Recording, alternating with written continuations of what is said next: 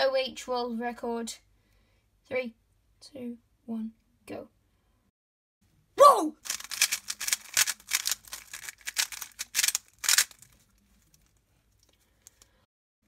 That wasn't, but first time, what? How? That is insane. How is that possible? Okay. Uh, yeah, paper. That's what we need confirm our next task of the day. Ah. Okay, I read this three weeks ago.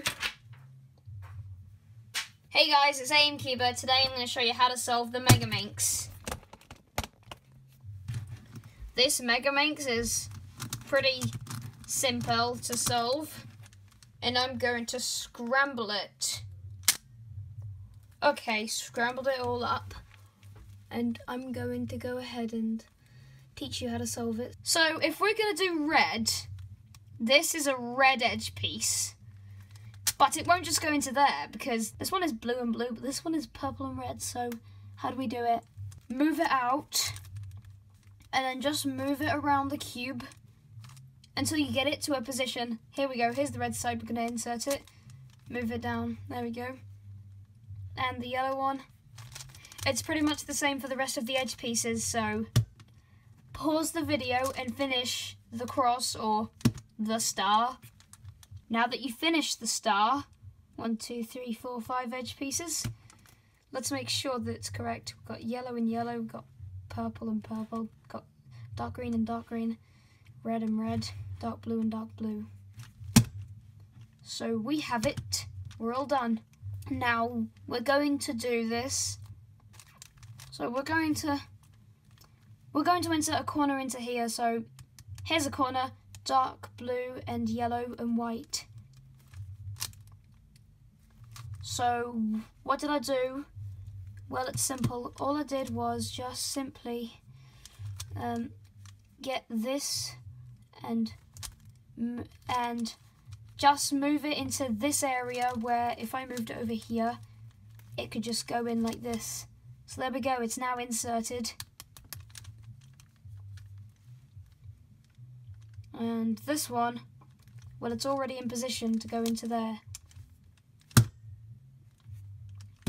I forgot to mention, before you learn this, because I'm going too fast, click the iCard up there so that you can learn how to solve 303 first. And let's see what we can do. So this edge piece goes into there. And I already showed you how to do this, so let's just move it around. Just going to do this until, oh yeah, there we go. And then this one. Pretty simple. There we go. I thought we'd done the first one we're do the second one. Okay, that was a bit fast. Um,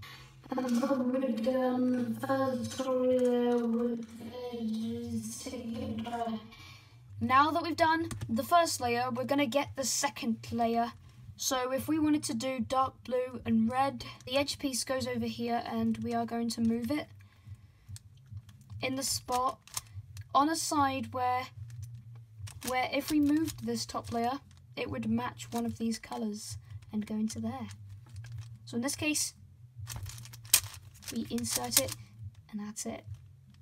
If you want to see what video I learnt the Megaminx from, click the iCard up there and subscribe to that YouTube channel, which is up there. Okay, on with the tutorial. Now we're going to do the other side. Yeah, we're not done. You're probably like, ah, what to do, what to do, what to do? But don't worry, I'm going to teach you. So let's do one of these sides. Let's do the yellow side as a star. Let me show you how to do that. So find the yellow pieces and move this layer. You can move this side if it's not involved with this F2L case. Because like for example, purple, dark green, red, dark blue, yellow and white are the sides not to move. Yeah, don't move them because then it's going to ruin it. Yeah, if you move these sides only, then then uh, then it won't ruin F2L. It'll do no effect. You can do that easy peasy. So let's go. So we're going to insert it like normal, and then this one we're going to insert it. Yep, that was simple enough. And then we can insert the pieces the same. You probably think we had to move it, but if we then put it back in when it's in position, there you go. So let's just get this edge piece in. And that is how you can do it. Okay, and now don't move these sides when you do this. Now, however, you are going to move them only for inserting pieces into there. That's the only time you can do it. So let's do this. Hmm. I'll just do this advanced technique because I taught you how to do it already. So I taught you how to do this up to the last layer. If we get one edge piece there, then hold it however you want and just do, you know, this algorithm. Three edges, hold them right there, and then just do this algorithm. Do this, do it in reverse. But if you get this edge case when they're in a set like this, you gotta do this instead. And there you have it. So if you have this edge and this edge right here, hold them like this, hold this one there and this one there, and just do this one. But if there's this one and that one, then you do the same thing and then and then you're back to this case which you can do already. If you get one edge only, like, I can't set up this case. I've given up trying to set up the case where you only get one edge, but if you keep moving it and you only get one edge or zero edges, then then let's just pretend we're in that case. Then you just gotta hold that edge in the back and then just do a Sune and then just do that algorithm and then and then just see what case you're in. You get to orient the corners by doing holding it up here and doing this algorithm, repeat, and then there you go. Now move the bottom layer until you get it.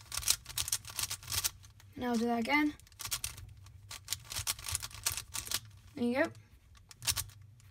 And so now that you've done it, you just gotta permute the edges by doing this algorithm, moving it this way, inserting it in, and then moving it until, see, this one, that one, don't go in here, try this one, there we go. Now let's see, not this one, there we go, here's the one. Done. And then when you do this one, and then you find it, then you do it again, but then you can't find anything for that edge piece over there. So you just take out any edge piece that's not solved yet. And then you do, that solves it. And then just finish it off and that solves the cube. Hope you like this. If you do, leave a like. And if you want to see more, subscribe and turn on notifications so that you don't miss out. And share with two people.